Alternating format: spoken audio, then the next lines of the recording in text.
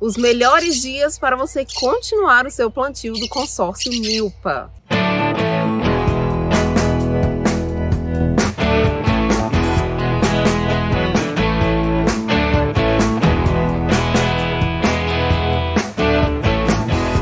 Olá pessoal, eu sou Paula Capone da Agricultura da Abundância. Eu sou JK, criador do método da Agricultura da Abundância. E esse é o Semanastro que trazemos para você a previsão da semana de acordo com os ritmos astronômicos para a sua agricultura. Para você plantar e colher orgânicos e poder ver a terra de forma abundante e sustentável. É isso aí, então já deixe o seu like nesse vídeo, deixe também o seu comentário e compartilhe com um amigo para que ele também possa produzir orgânicos em abundância seguindo os ritmos astronômicos. É isso daí, então não perca aqui essa dica porque hoje nós vamos dar continuidade ao consórcio do Milpa para você poder ter os melhores dias e os melhores impulsos para você plantar e colher orgânicos em abundância. Então fique bem atento porque essa semana está repleta de impulsos maravilhosos para você poder plantar e colher orgânicos em abundância. E essa semana vamos falar da semana do dia 4 ao dia 10 de dezembro. E na segunda-feira a lua está na constelação de Leão. Então a gente já começa aí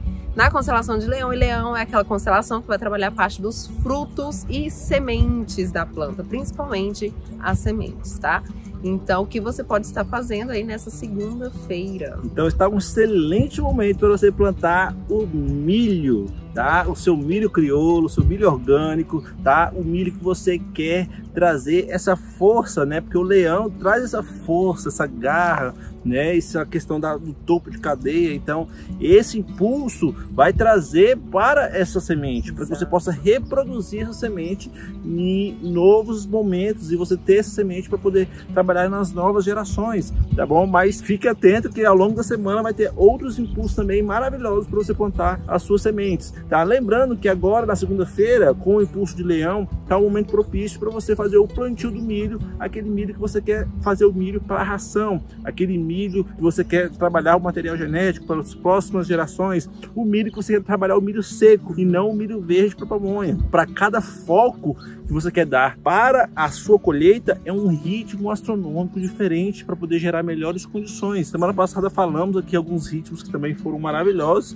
tá bom? E agora para você complementar a sua semana e aproveitar os melhores ritmos, é, fique atento aqui que essa semana está repleta de impulsos maravilhosos, tá? Então aproveite segunda-feira para tanto plantar o seu milho como plantar o feijão. Mas muitas pessoas vão perguntar, ah, JK, mas no consórcio Milpa, primeiro planta o milho para depois plantar o feijão? Pode ser de acordo com o seu consórcio, tá? E isso a gente vai trabalhar na estratégia de produção, tá bom? Então, lembrando que na agricultura da abundância nós temos o fundamento RTC, que é o fundamento base do método, tá? Trabalhar com os ritmos astronômicos, nós estamos trazendo para você aqui as técnicas, estratégias e o consórcio da abundância. Então, de acordo com a sua estratégia de produção, de acordo com a sua área, você pode estar fazendo o plantio do milho juntamente com feijão, ou você pode estar fazendo posteriormente o plantio do feijão, tá? Vai diferenciar aí a estratégia que você vai estar trabalhando e o consórcio da abundância, a questão do espaçamento, né, do tempo que você vai cultivar, tá? E aí é algo mais além que nós precisamos entender de forma mais detalhada o seu sistema de produção, né, a sua realidade para poder entender qual vai ser o melhor consórcio, a qual vai ser o melhor espaçamento entre o milho e entre o feijão, qual vai ser o melhor momento de você fazer esse plantio, tá bom? Então, a precisa analisar área por área, projeto por projeto para poder trazer essa informação para você. A princípio, esse dia está maravilhoso para poder plantar os grãos que você quer, o grão seco. Tá? Isso, e eu vou te falar, e eu vou falar aqui as melhores, os melhores horários desse dia, porque também vão acontecer os, os horários mais favoráveis, né? Que são aqueles trânsitos que a gente ama, são os trígonos, tá? Então, na segunda-feira vai acontecer dois trígonos, vai ter força para fruto, então é excelente para você fazer o plantio, para você ter essa semente seca, para você ter as próximas gerações dessa semente, as, as sementes que você queira, as próximas gerações com a melhor qualidade. Então, um desses trígonos vai acontecer por volta de 9 horas da manhã, que vai ser entre a Lua, que está em Leão, e Mercúrio, que está retrógrado em Sagitário. Quando os planetas eles estão retrógrados, a sua força é maior ainda. Então, excelentíssimo porque vai potencializar aí a qualidade, a produtividade, tá? Trazendo força, Sagitário é uma constelação que trabalha fruto também, essa força para fruto. Então, às 9 horas da manhã, esse trígono excelente para você plantar aquela semente de milho crioulo, principalmente, né? É, do seu milpa, é. ou outro fruto que ou, você é. queira a semente para a reprodução posterior, né? Para você ter essa próxima geração aí. Exatamente. E o feijãozinho também. Feijão. E caso você já esteja plantando outras coisas, outros cultivares, você também pode aproveitar esse momento para poder plantar suas Exatamente. frutíferas, tá? Como a gente está aqui no momento especial do consórcio Milpa, tá? Então a gente está focando pouco mais aí nesse plantio de roça que é o momento mais favorável para quase todas as regiões do Brasil, tá? Então a gente está tra trazendo esse enfoque maior para o consórcio Milpa, como vocês pediram aqui nos comentários, tá bom? Mas você também pode tá, fazer o plantio das suas frutíferas em geral, tá? Mas em especial aqui segue os direcionamentos para o Milpa. Isso, e o próximo trígono que vai acontecer na segunda-feira vai ser por volta das 16 horas. Então anota aí, gente, esses dois horários são excelentes, maravilhosos para você ter a sua semente para reproduzir. Então, esse trígono vai acontecer entre a Lua, que está na constelação de Leão, e Júpiter, que também está retrógrado na constelação de Ares, também uma constelação que trabalha a parte dos frutos, tá? Então, só potencializando aí a reprodução dessas sementes. Então, aproveite esses horários. Terça-feira, então, por volta das 3 horas da manhã, a lua vai ficar entrar no seu quarto minguante, tá? Então, ela já de, há três dias atrás, ela já tem força de minguante. Três dias antes dela entrar no seu quarto minguante, ela já tem força para minguante. As 3 horas da manhã é o marco dela, do seu quarto minguante, trazendo força para as raízes, né? Então, potencializando então a parte do solo, tá? Então, tudo aquilo que a gente quer que cresça abaixo do solo, tá? Então, tubérculos, uh, raízes e tudo. E a lua permanece na constelação de Leão até 10 horas da noite, até 22 horas. E aí, 22 horas na terça-feira, a lua já vai entrar na constelação de Virgem, mas aí a gente já vai falar mais sobre a constelação de Virgem na quarta-feira, tá? Então, o que, que você pode estar fazendo nessa terça-feira com a lua minguante na constelação de Leão? Então, você pode continuar o plantio dos seus frutos, tá? O plantio das suas sementes, tá bom? Pode também fazer o manejo das suas frutíferas,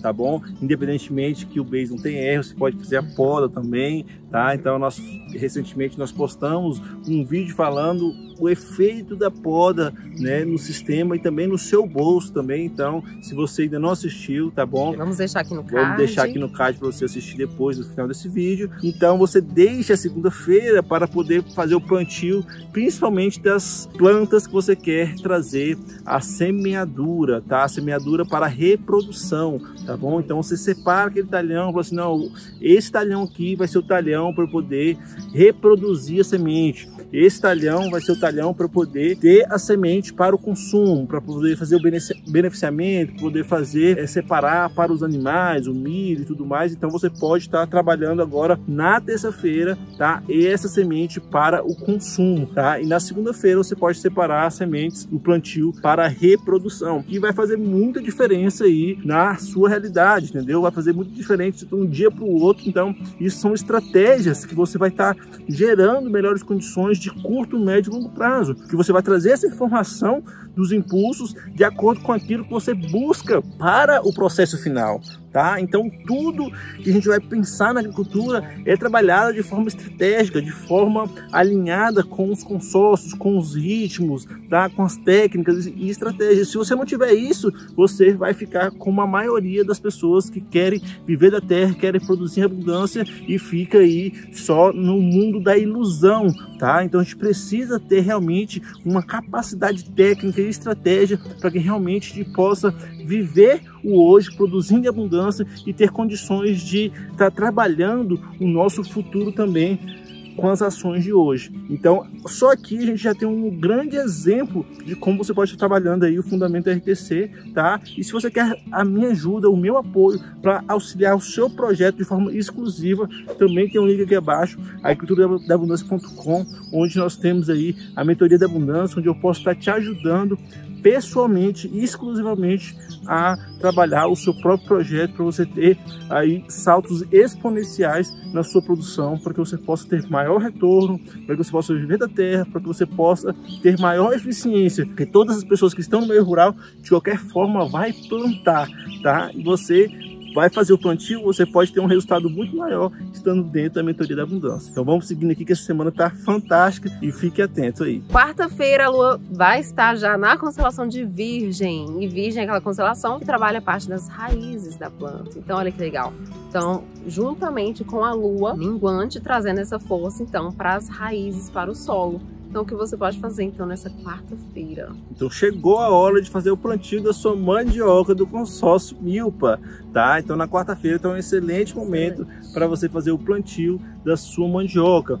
Pode também estar tá integralizando a batata doce dentro dos mesmos consórcios, mas aí você precisa entender quais são as estratégias e o consórcio da abundância para você poder fazer esse mesmo consórcio que eu posso te ajudar aí na mentoria da abundância, tá? Então, na quarta-feira, foque no plantio da sua mandioca, das suas manivas, das, dos tubérculos, das suas raízes, tá bom? Então, se a sua região não está no momento de chuva, você pode também estar tá fazendo o plantio aí de outros tubérculos, cenoura, beterraba, batata, tá? Agora, se sua região é, está no momento de chuva, você também pode plantar, mas aí você precisa ter exatamente todas as técnicas, todas as estratégias do consórcio da abundância para você realmente ter uma produtividade dessas culturas, porque se você plantar de qualquer forma, apenas seguindo os ritmos astronômicos, você não vai ter sucesso, porque batata, cenoura, beterraba, cebola são culturas que não gostam desse momento que nós estamos, que é o momento do verão, muito sol, muito calor,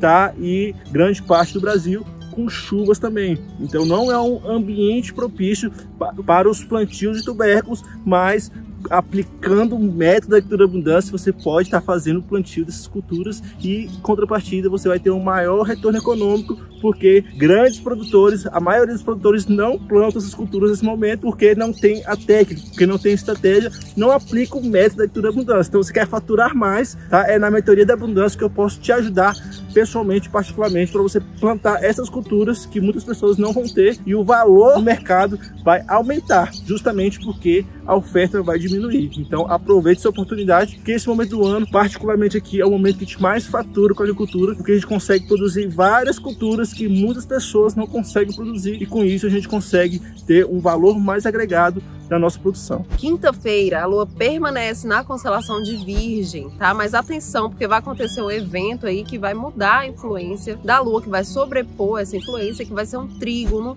de força para fruto, tá? Esse trígono vai acontecer por volta de 23 horas da noite de quinta-feira, tá? E vai ser um trígono aí com o planeta Mercúrio, que está na constelação de Sagitário, e Júpiter, que está na constelação de Ares. Então, essas duas constelações são constelações que vão trabalhar a parte dos frutos. E quando esse trígono acontece, que é essa angulação de 120 graus entre os ângulos, e são de forças iguais, né, semelhantes ali de fruto. Esse evento, esse trígono, ele sobrepõe o efeito da lua, tá? Então não vamos ter mais força para raiz, raiz. e sim para fruto a partir de 15 horas. Porque esse trígono tem força aí 8 horas antes e 5 horas depois que ele acontece. Então vai ficar aí de 15 horas de quinta-feira até 4 horas da manhã de sexta com a influência para fruto, tá bom? Então, que você pode estar fazendo aí nessa quinta-feira. Isso aí. Então agora você pode estar aproveitando tá, os mesmos impulsos da segunda-feira para que você possa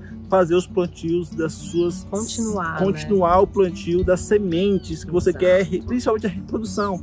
Então quem trabalha em escala, né, quem trabalha com trator, mecanizado, tá, já pode varar a noite aí, né, aproveitando esse impulso aí, plantando vários hectares aí na máquina tá? Para poder aproveitar esse impulso de raiz, de trígono para fruto, para semente, tá? Então aproveitar esse momento para poder fazer a semeadura para que você possa ter a reprodução do milho, reprodução especialmente do feijão, tá? E se você já, já finalizou o plantio dessas culturas já na segunda-feira e na terça-feira, você pode estar fazendo o plantio de outras frutíferas, tá? Por exemplo, a abóbora também, se você quiser colocar dentro do consórcio milpa, você também pode estar colocando aí nesse esse momento, tá? Lembrando que, de acordo com o seu consórcio, não vai ser o momento ideal para você introduzir abóbora ou feijão, tá? Mas de acordo com o consórcio, de acordo com a estratégia, de acordo com o tamanho da sua área, você já pode estar aplicando, fazendo essa semeadura também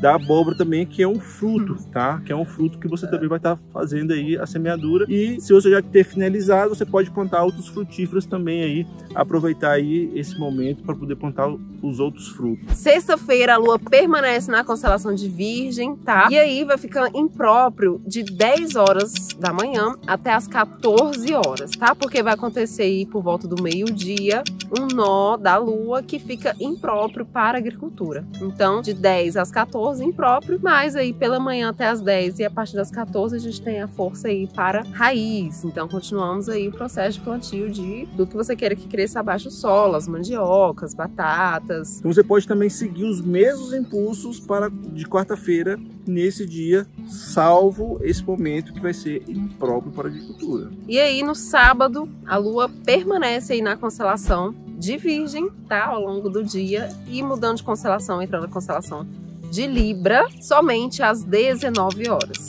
tá? E Libra é aquela constelação que vai trabalhar então a parte das flores e as nossas ervas medicinais, tá? Então mudando completamente aí a influência na planta. Mas sábado então continua raiz. Raiz, tá? Então pode aproveitar aí e já Arrochar no mandioca.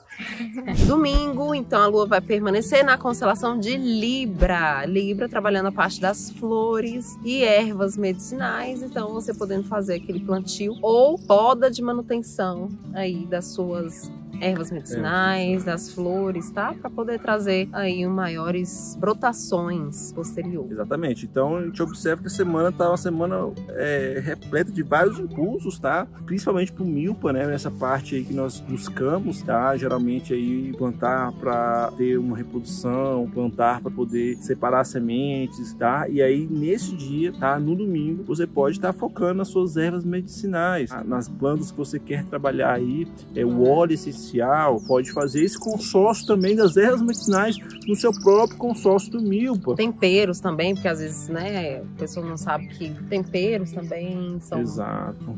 É, tomilho, orégano, manjericão. manjericão. Exatamente. Então, assim, não fique preso só a esse consórcio do milpa, tá? Então, em cima desse consórcio do milpa, tem várias possibilidades. Você é. plantar muito mais culturas. Tem possibilidade de você plantar frutos, tem possibilidade de você plantar hortaliças, tem muitas possibilidades possibilidades, infinitas possibilidades de você estar tá agregando cada vez mais para o consórcio Milpa. Não se prenda apenas essas três culturas, essas quatro culturas, tá? Existem várias possibilidades de você multiplicar a sua terra com um consórcio da abundância mais eficiente. E na mentoria da abundância eu posso sentar junto com você, analisar seu projeto, analisar a sua realidade e entender qual é o melhor consórcio da abundância para que você possa viver a terra de forma abundante e sustentável. Isso aí, então, pessoal. Essas foram as indicações dessa semana. Deixe o seu like se ainda não deixou, chegou até aqui. E a gente se vê no próximo vídeo ou na semana que vem, no próximo semanaço, tá? É isso daí. Então não deixe essa oportunidade, tá? Ainda dá tempo, tá? Da gente poder sentar juntos e eu poder ajudar você aí no seu projeto. Clique aqui no link aqui abaixo, agriculturaabundância.com, faça sua aplicação na mentoria da abundância e quem sabe eu posso ser o seu guia e o seu mentor aí para todos os seus passos, para que você possa ter mais eficiência, mais lucratividade, mais produtividade e viver realmente da terra de forma abundante e sustentável. Começar 2024 com tudo já produzindo orgânicos em abundância. Esse é o momento. É isso aí. Vamos fazer um 2024 muito mais diferente do que o 2023 e vamos juntos à agricultura da abundância. É isso aí, pessoal. Até o próximo vídeo. Tchau, tchau.